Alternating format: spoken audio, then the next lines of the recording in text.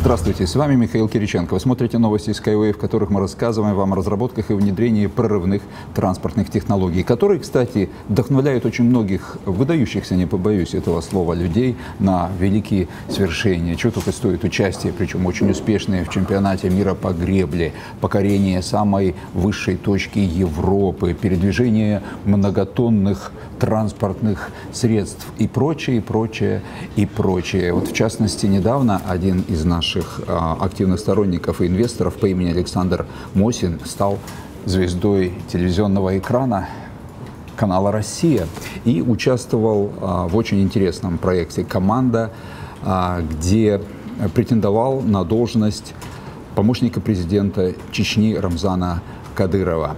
Здравствуйте, Александр. Добрый день, Михаил.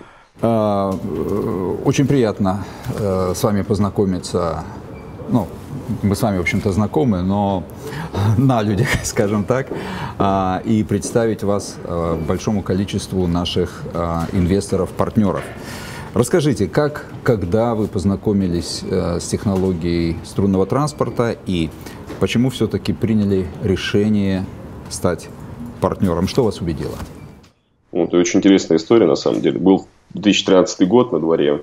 В тот момент я находился в Махачкале, Э, и мне позвонил мой друг, э, объяснил то, что вот, жизнь в Москве идет, и встретились, познакомились с одним очень интересным ученым. Вот. Но у него одна проблема, у него нехватка финансирования в его очень интересном проекте. Вот. И как-то он начал рассказывать плавно, и 5 минут перешли в 15, 15 минут перешли в час. Это может случиться и с нашим интервью, я чувствую. Ну, конечно. И смысл в том, что мы полтора часа общались по скайпу, он рассказывал все интереснее, интереснее, интереснее, и уже через сутки из Махачкалы я был в Москве, э, и мы сидели в офисе Юницкого. Мне интересно было с этим человеком познакомиться лично, потому что то, что мне рассказывали, это было что-то вот, э, космическое. И вот мы сидим через сутки уже в офисе Юницкого, общаемся, он мне рассказывает Э, про транспорт, про, про современные там, технологии, про современные проблемы мира. Вот, очень много, там, целый спектр проблем судили. И в тот момент я понял, что в срочном порядке обязательно там, всем и каждому нужно так или иначе помочь Анатолию Эдуардовичу воплотить его мечту, потому что она искренняя, она правильная и она нужная. Это самое главное.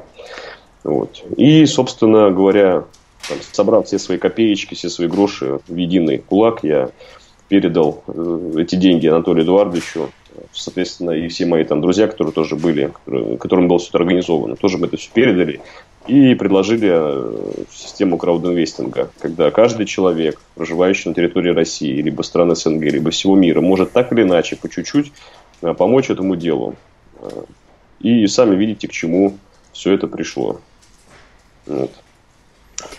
Очень приятно, что вы с нами, такой замечательный человек. Теперь, возвращаясь к тому событию, которое послужило основой нашего с вами интервью. Как вообще пришло в голову пройти через те испытания, свидетелями которых стали зрители команды? Тяжело ли было пройти вам отбор и в чем он заключался? Ну, давайте по порядку. Началось все с того, что поскольку там в 2013 году все это началось, естественно, никто это бросать не собирается, и все так или иначе люди помогают Анатолию Эдуардовичу в его мечты. Вот. Э, система краудинвестинга заработала, компания начала собираться, команда людей, которые с высококачественных специалистов э, начали уже к Анатолию Эдуардовичу притягиваться. Вот. Соответственно, мне было интересно развивать уже непосредственно адресные проекты. У меня всегда была мечта. Ну, то есть, в принципе, я люблю Северный Кавказ. Э, люблю горы, люблю свежий воздух, люблю прекрасных людей. И мне всегда была мечта построить э, Skyway именно на Северном Кавказе. Вы для того, вы для того региона выглядите вполне аутентично, я бы сказал. Спасибо. Вот. И именно из, среднего, из Северного Кавказа выбрали, выбрал э, именно Чечню, потому что все-таки там находится самый э, сильный, самый искренний, преданный лидер э, своего народа, это Рамзан Кадыров. Соответственно, и начали очень аккуратно, очень плавно уже узнавать, где можно построить, с кем можно общаться. И мы эту работу уже начинали там, в 2015 году. Мне помогал э, мой наставник, это Сергей Анатольевич Сибиряков. Я считаю своим другом, коллегой. Можно передать ему привет. Сергей Анатольевич, привет. Сергей Анатольевич, вам огромный привет. Если вы нас смотрите. Конечно же, нас смотрит. Я не удивлюсь, даже если он стоит за вашей спиной. А, а я, кстати, тоже. Да вроде нет пока. И, соответственно, начали работать в этом направлении, начали уже пробивать э, все направления, работать с Министерством туризма, работать с Министерством транспорта. И, соответственно, уже в 2015 э, в 2016 году, получается, мы получили первый отклик нашей работы. Э, с нами, со мной связался секретариат правительства Чеченской Республики и захотел с нами встретиться непосредственно уже в Москве, обсудить вопросы строительства инновационного транспорта в Чечне. Соответственно, что мы из себя представляем, что мы хотим и чем мы можем быть друг другу полезны. Это достижение уже было, я должен сказать. Уже пробиться. Это один из этапов. Вот, поэтому мы, мы относимся к этому так. Работа долго предстоит. Вот. И, соответственно, я позвонил Сергею Анатольевичу, объяснил, что вот будет встреча. Мы с ним, естественно, встретились. Он всегда охотно и с огромным желанием э, готов пообщаться с любым человеком, который интересуется технологией Skyway. Знаю. Подтверждаю. Вот. Соответственно, приехала делегация из Ченской республики. Это молодые, активные, очень умные ребята, которые хотят э, так или иначе помочь Ченской республике. Э, был Интурпро, Экспо, там мы с ними встретились. Сергей Анатольевич вместе со мной презентовал идею, им это очень понравилось. А, было очень много обсуждений, было очень много аллегорий, которые нам очень понравилось. Это аллегория с э, шелковым путем. То есть сейчас, э, по сути дела, обсуждается шелковый путь. И весь мир обсуждает, что же будет основой шелкового пути. То есть там асфальтовая дорога, рельсовая дорога или что-то там еще. Э, и... Но мы-то с вами знаем, какая будет на самом деле. Мы Правильно. с вами знаем, конечно, Которая мы напрямую связана вот с этой нитью, да? Тонкой, но прочной. Да, и наши коллеги сделали аллегорию, то, что шелковый путь – это шелк, это тонкая нить, тонкая нить, прочная нить, э, которая придет шелкопряд, который знает по всему миру. Соответственно, наша технология – это тоже тонкая, прочная нить. И, соответственно, она, в принципе, по их мнению, должна лечь в основу шелкового пути. Вот, соответственно, после встречи в Москве мы уже э, плавно перешли во встречу в Чечне. В Чечне была снова встреча, присутствовал э, председатель правительства, Минтуризма, Минэкономразвития, Министерство транспорта, где мы в очередной раз уже в более широком кругу обсудили эти вопросы. Э, не сказать то, что это была просто обычная беседа, там все были в восторге, всем очень понравилась э, наша технология, они прекрасно видят и понимают э, места применения.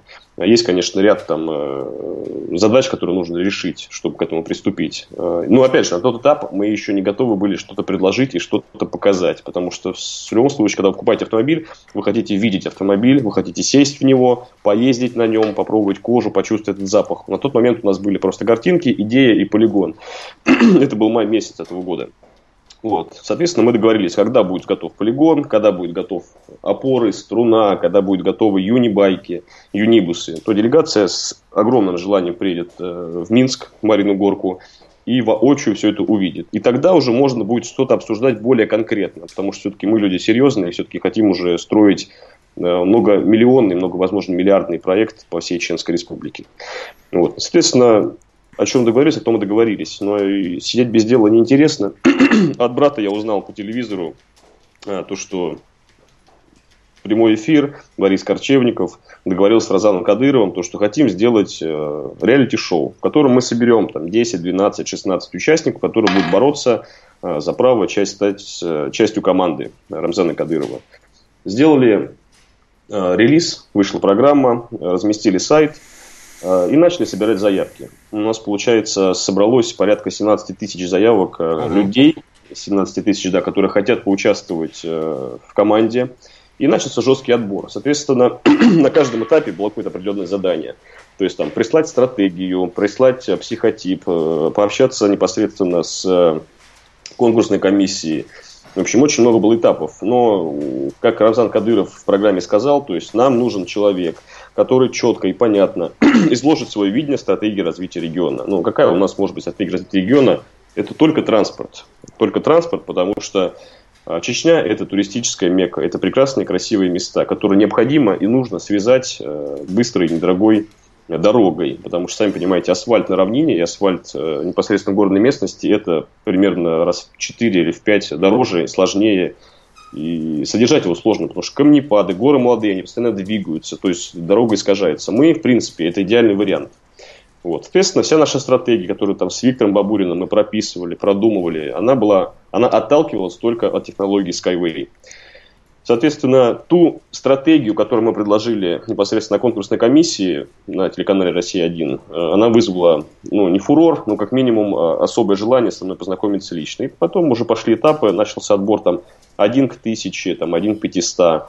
И уже непосредственно ближе, честно могу ошибаться, по-моему, то ли июнь, то ли июль был, нас вызвали в Москву, осталось 88 человек, вот, которые уже вживую общались с конкурсной комиссией, из которых должны были отобрать 12 э, человек.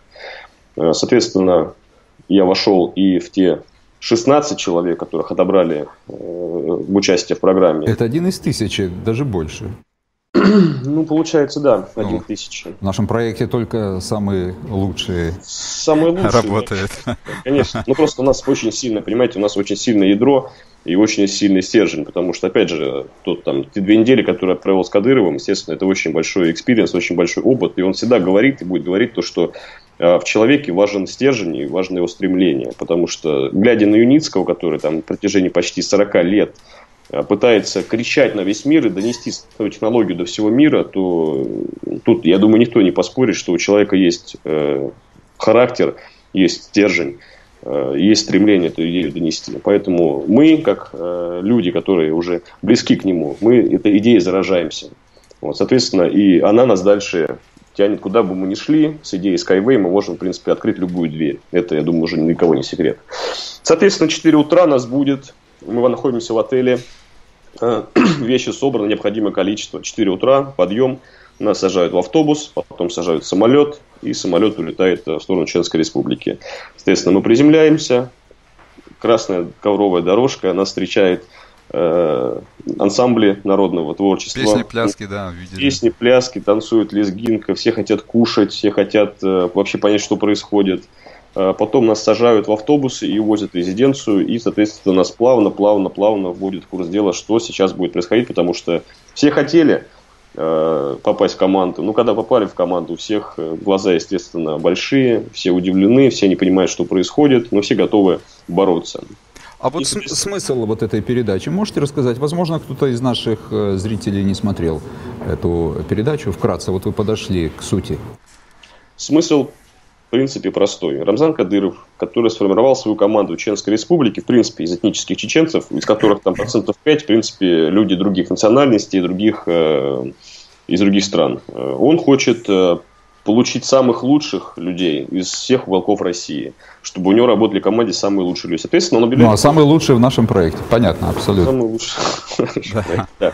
И, соответственно, он объявляет конкурс, 16 э, человек, 16 конкурсов, которые постоянно отсеиваются, чтобы остался один, самый сильный, самый ловкий, самый быстрый, самый умный, который получит должность какую-то, никто пока не знает какую, в команде Кадырова, потому что работать в команде Кадырова – это престижно.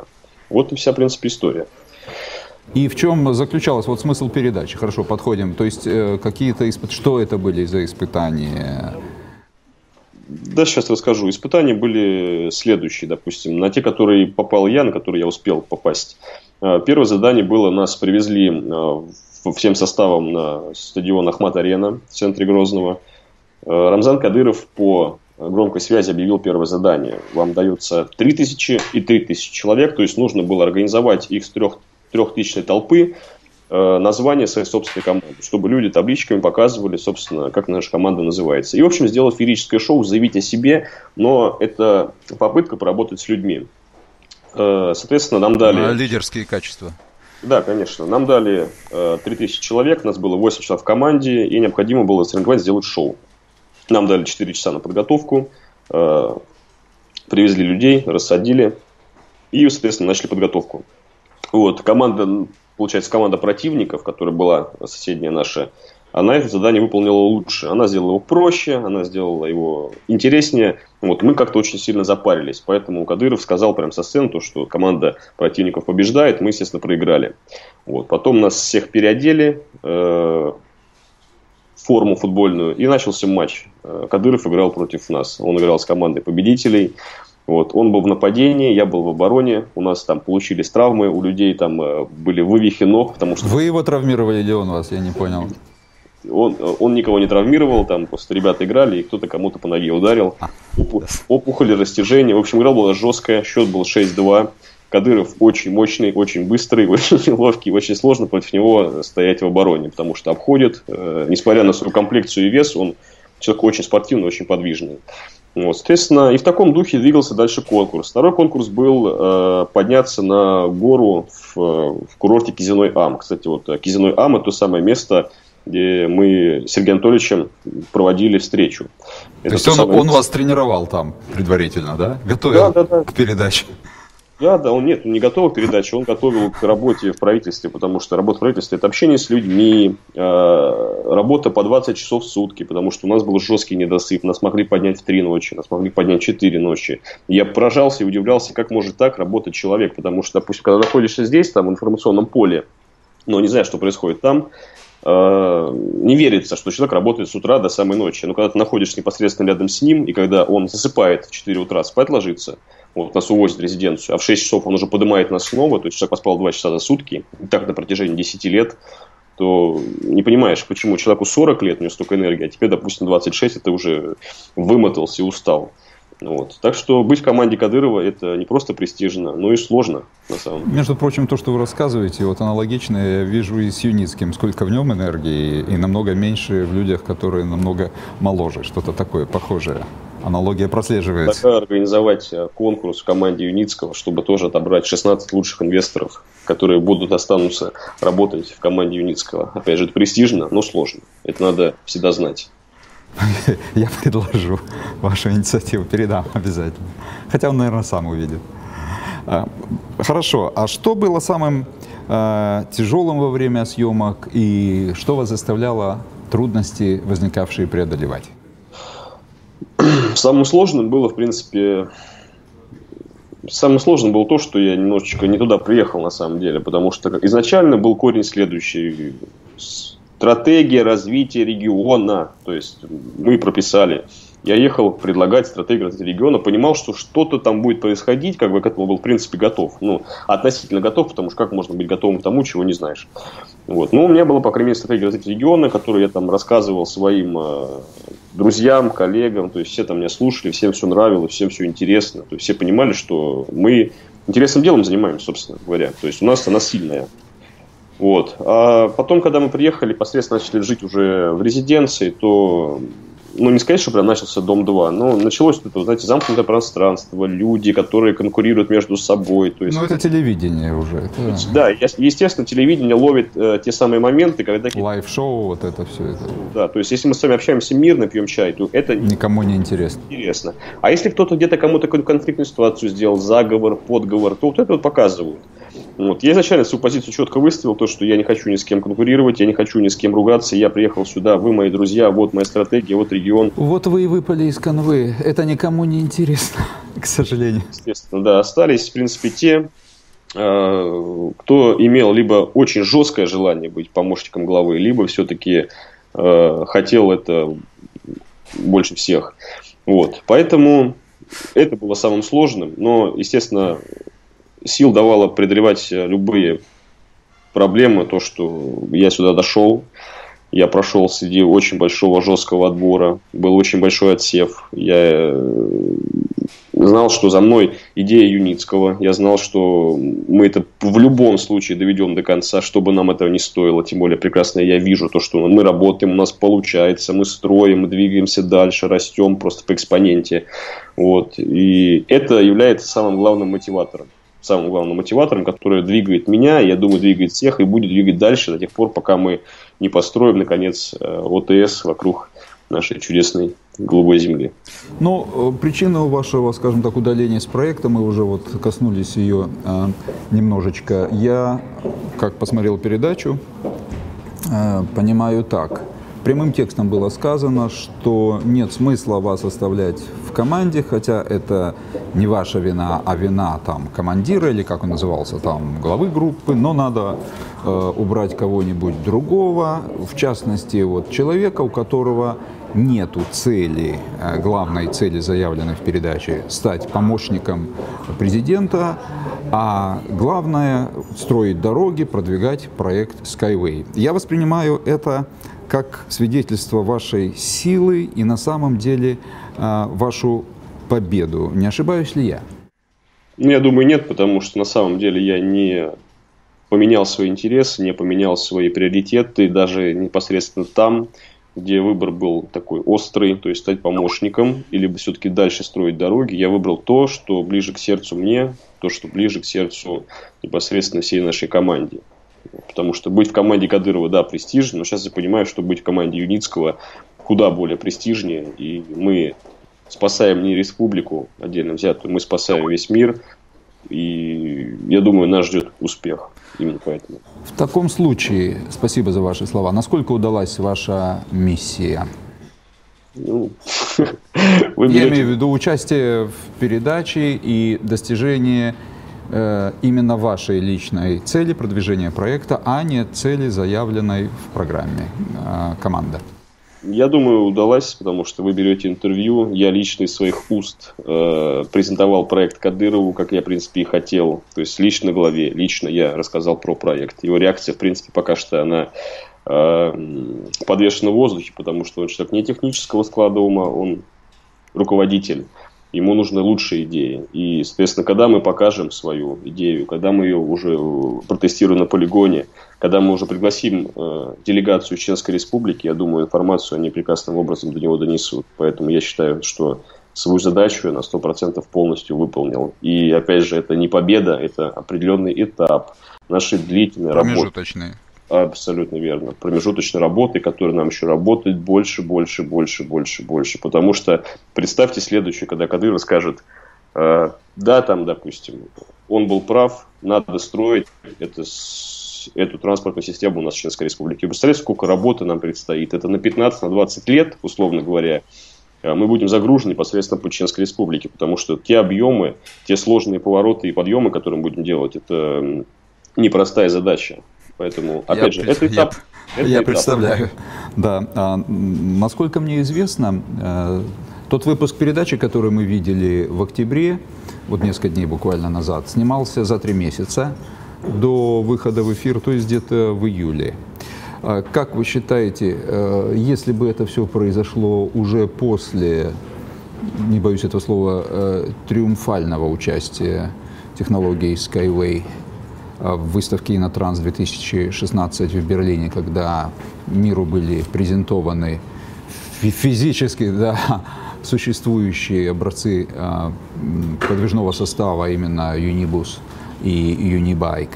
Так вот, если бы все это происходило после выставки на транс, был бы результат другим. Я что-то там слышал что уже, в принципе, были какие-то предпосылки до того, какие-то тут истории странные после ответа на этот вопрос. Расскажите что-то там с вашим снятием с самолета и возвратом для повторного разговора, что вроде бы интерес все-таки был э, проявлен к нашему проекту. Помимо того, что мы видели э, на экранах телевизоров, я имею в виду. Да, было то, что никто не увидел и знают только там определенный круг лиц людей. Ну вот сорока на хвосте принесла мне. Рас, рассказываю про сороку. Э, Кадыров не знает, что такое инотранс. И я думаю, процентов 98 населения Земли не знают, что такое инотранс. Инотранс – это специализированная выставка транспортных э, систем, которую знают специалисты транспортных систем. Соответственно, мы, когда выступили на инотрансе, мы выступили успешно, потому что мы заинтересовали и показали инновацию, которая интересна специалистам транспортных систем. Потому и называется Иннотранс. Да, инновации в транспорте. Все верно. Вот. Поэтому я не думаю, что прям что-то сильно изменилось, если бы я сказал Кадырову, то что, ну, мы на трансе выступали, мы очень успешно там выступили. Ну, ему было бы все равно, потому что, собственно, покажите, расскажите непосредственно, вот, покажи, где-то все это есть. И что оно точно дешевле, что оно точно быстрее. Я думаю, это уже дело нескольких дней, вот пока в экотехнопарке все поедет. Вот. Реально, это даже не, не недели, наверное, а дни, вот, мне кажется. Поэтому, возвращаясь в прошлое, в мае мы договорились с министерством, то, что когда у нас будет готов технопарк, когда у нас mm-hmm. будет готов Нибус и Струна, и когда все это будет комплексно показано непосредственно в технопарке, тогда они а, приедут, посмотрят и оценят. Вот, соответственно, Кадыров сейчас здесь, э, опять же говорю, он глава, он у него голова должна просто взрываться по потоку информации, который в нее заходит постоянно. Он не может уследить за всеми тонкостями. У него есть министерство, есть отдельные помощники, поэтому мы сейчас будем работать непосредственно с министерствами транспорта, которые приедут и оценят идею непосредственно в технопарке.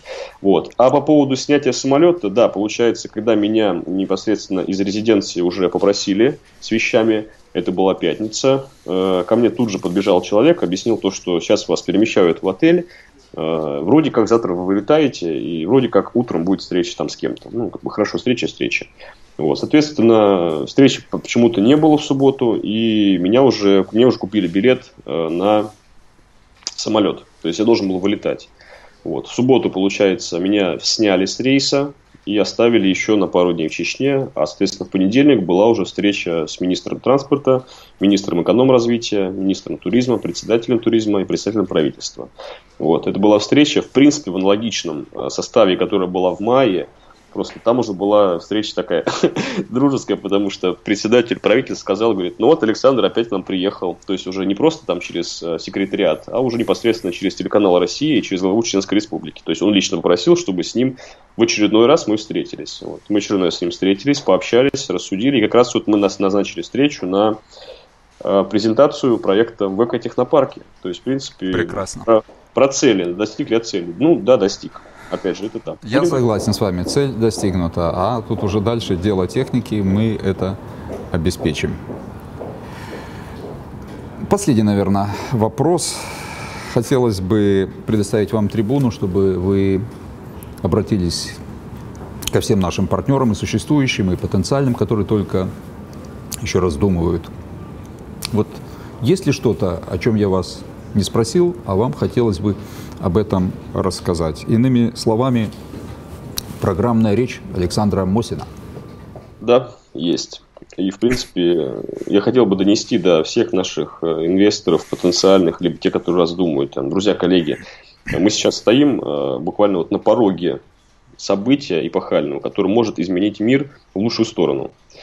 Э, тот транспорт, который создает Юницкий, который был, родился в его голове там, 38 лет назад, 40 лет назад, сейчас мы возрождаем и делаем в бетоне и в стали на полигоне. Это можно наблюдать, это можно смотреть, это событие, которое не укладывается даже у меня уже в голове. Э, это нужное сейчас э, событие. Это, этот транспорт нужен. Он как интернет окутает в ближайшее время весь мир. Кто-то ставит там 5 лет, кто-то ставит 10 лет, кто-то ставит там 20 лет, за которые он полностью окутает весь мир. Это не важно.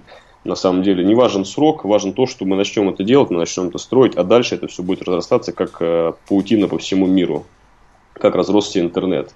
Вот. Э, в принципе, аналогию с Юницким можно привести только с Маском. Но Маск пытается улететь зачем-то на Марс от земных проблем, а Юницкий пытается проблемы решить здесь, на Земле, и от нас никуда не собирается улетать. И ну, поэтому там, мы... Тому, наверное, есть э, от чего убегать. Наверное, есть от чего убегать.